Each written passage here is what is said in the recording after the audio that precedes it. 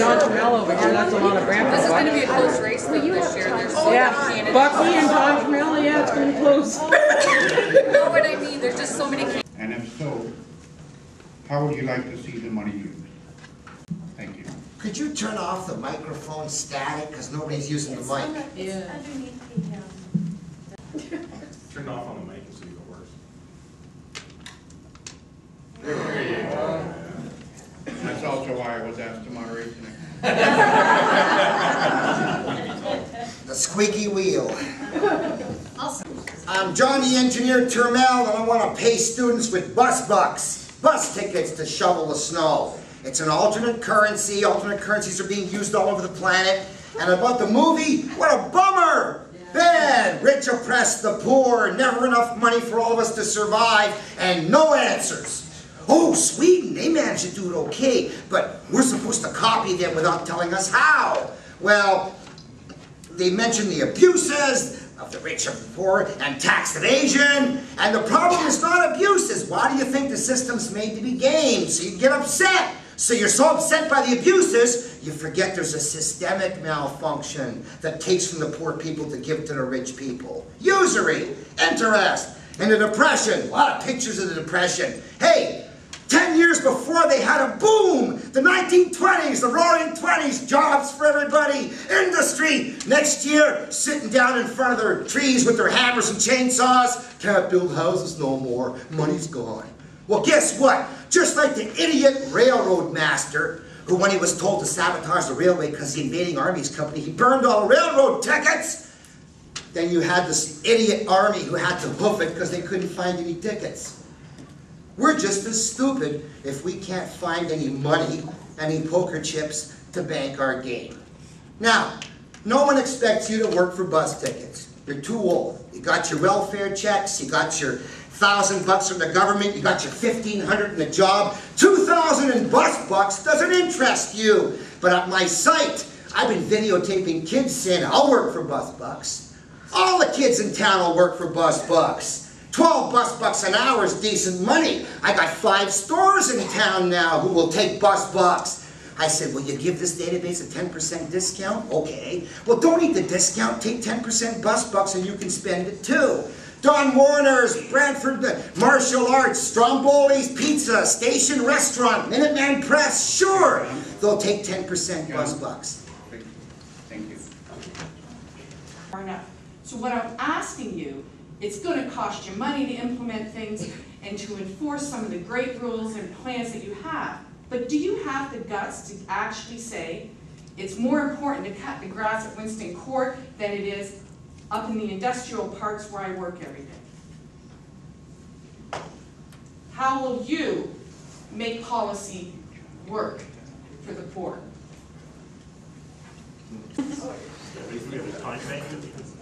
Well, talk about a perfect example for paying a bunch of kids to go get rid of the thistles, but you pay them with bus tickets. I got all these kids, I got all these empty bus seats. I'm not gonna change the routes, not gonna change the drivers, not gonna change the schedules. I'm only gonna fill the buses and get the thistles cut down.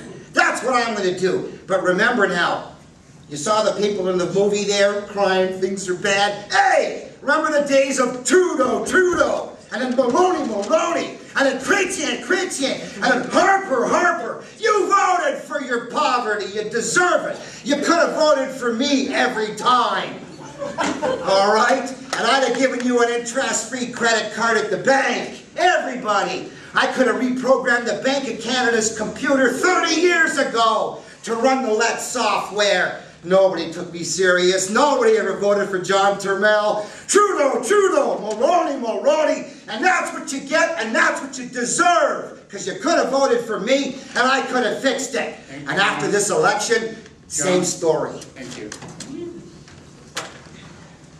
Okay, my name is Vanessa Fraser. I'm a local artist here in town. I am uh, top of the class graduate of graphic design at Mohawk College. And I'm also on ODSP, believe it or not. I don't really know what to do on ODSP to further my career in the arts, to further my career in graphic design, because they're all expecting me to be drilling in a cup instead of wanting to further myself. Like, I mean, there are lots of people on ODSP that have ambition and, uh, you know, wanna do things, you know? And, and I know ODSP does encourage us to work, and, you know, like, when, I mean, when you wanna work, but you also need help. Well, oh, you don't think bus bucks would fix it? How many other people don't think bus bucks would fix it? I can't even, Okay. Well, actually, take, go to Stromboli's Pizza or go to the station restaurant and you can for part of your bill. I'll paint something on the. Part of your bill, that's right. You're going to encourage lack of nutrition by Yeah. bus bucks in order to Not to help mention her deal with enslaving your disability? kids. How does that make any sense? Okay, let's. uh, You're right, it didn't. You're, you're right. It- Candidate, No, she's right. She didn't, she made no sense. You're absolutely right. I never said that, what you said, because it made no sense. Here's the point. If the kid of a poor family, the kids, can bring in some income, which allows some bills to be paid, like maybe the kid does go to one of the martial arts places in town.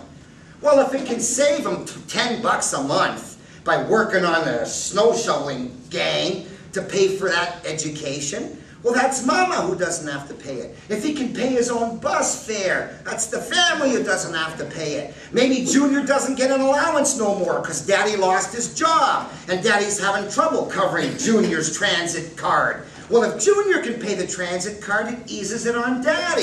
I'm saying that there are many ways that these credits that are generated by a community can be used.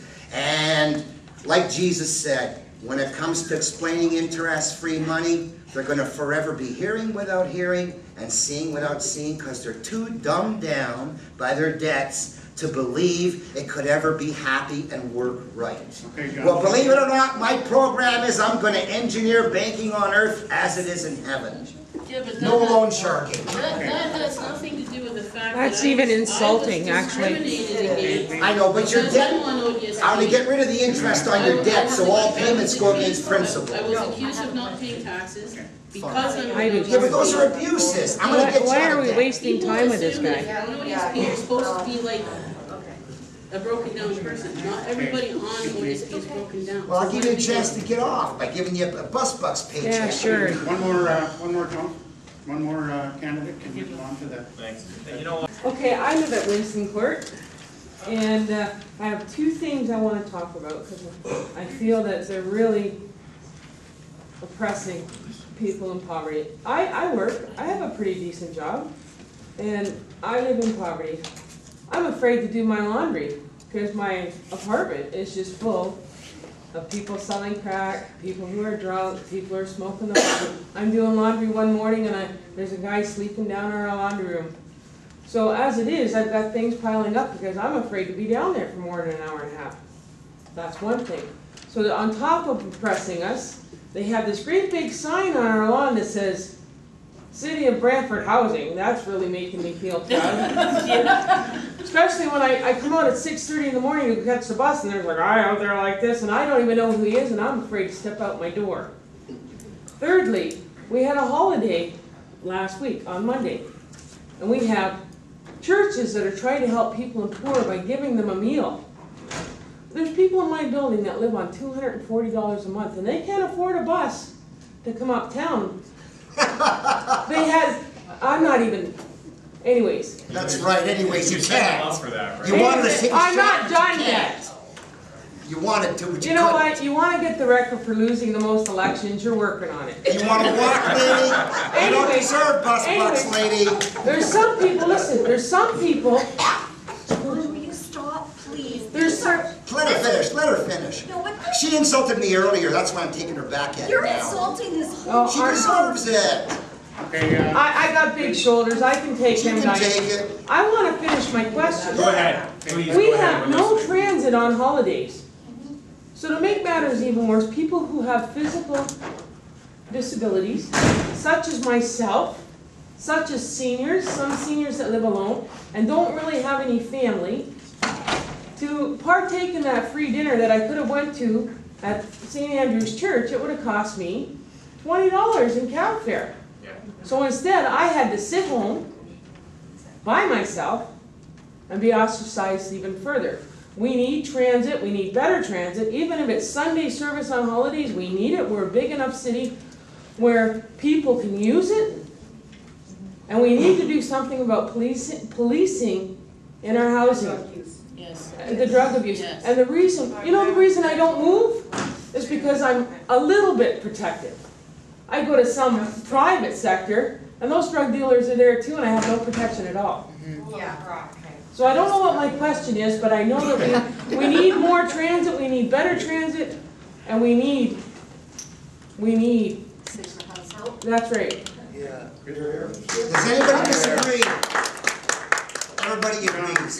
You know, it's honestly, We need more, yes. We all not agree. to be rude either to John in this situation, it's, it, you know, it- he's got a particular point of view, and he just repeats it, so, I mean, it's just, don't get into Enslaving Hey, our, but she's talking about en- better enslaving children is not the You answer. can't afford buses. But- Mr. Turmel, you've had your turn. But Now the what we- place.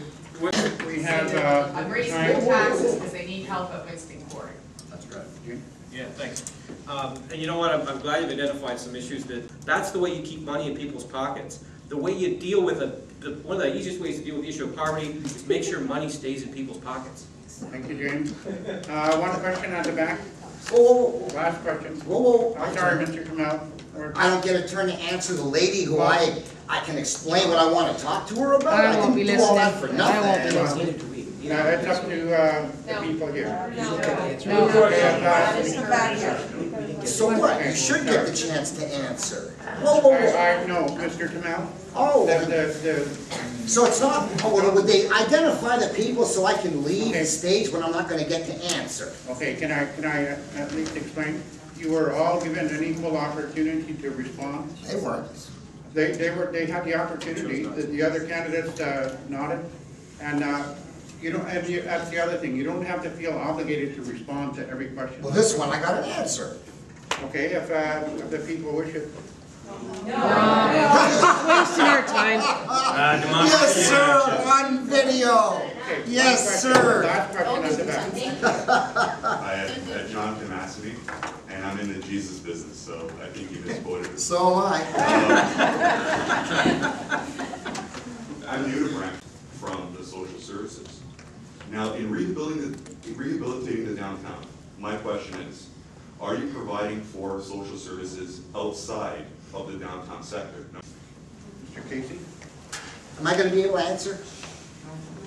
No. You're gonna ask the audience again? No, Yes, sir. sir. No, sir. No, sir.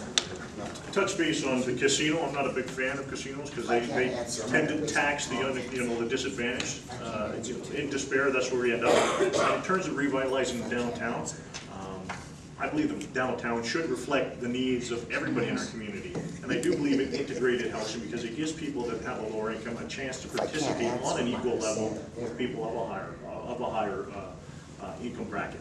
You know, in terms of what we bring downtown, we should have social services downtown because that's where a lot of those problems are. And you know what? People can't get down there. We need to have where people, where there are people. We also have to bring businesses in that reflect the people here. We've heard, oh, we'll bring a keg. Well, I don't know too many people that can spend a hundred dollars on a dinner now. We need to bring businesses and boutiques, stuff back that everybody, everybody in this room has a chance to participate and enjoy. You know, so I, I think that's the key to our, re- our downtown revitalization, is to make sure it reflects the entire community, not just a select few, okay? Let's just keep, let's call the meeting and we'll talk to people one-on-one in smaller groups. Would you like to do that? Uh, First, I'd like We've to, dealt with uh, this before. I'd like to offer uh, Mike a chance to respond. Don't forget your helmet.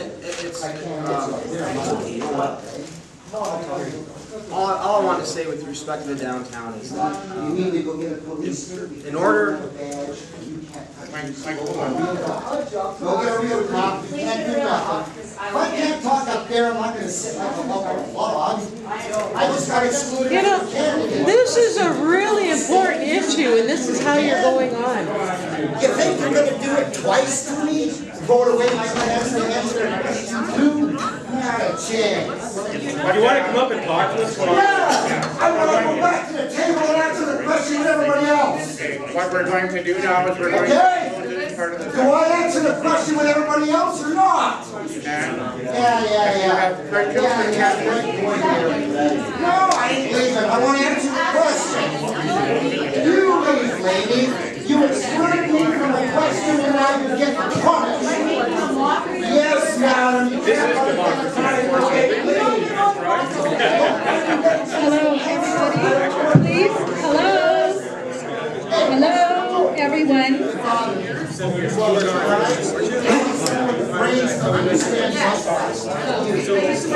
Okay. Thank you, everyone, for coming. I'm very uh, sorry about the disturbance we're having.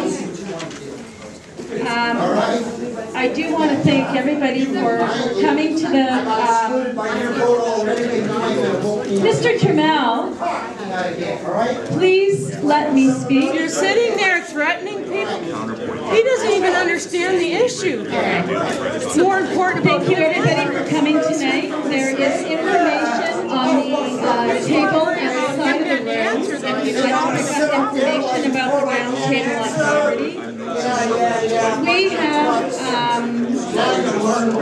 also got people, this is a very emotional time right now.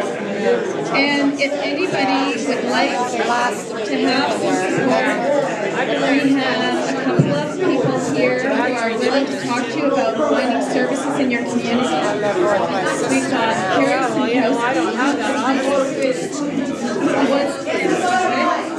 There she is at the back, Dubois, if anybody needs to talk to them and have a word or something going on tonight, uh, we're happy to do that. Uh, please come out to the roundtable meeting, the poverty roundtable on Wednesday, October twentieth, at six thirty P M at the Brantford Arts Lodge. That's at eighty Dalhousie Street, or Deluzio Street. And we would really like to see you really want to thank the candidates, most of the candidates. This has been a very good discussion, I think. I, I do uh, think the candidates did an excellent job of answering. So what, I mean, because this is a public meeting, there's a difference, right? Wow, look at here. Here is the police cruiser. Come to see me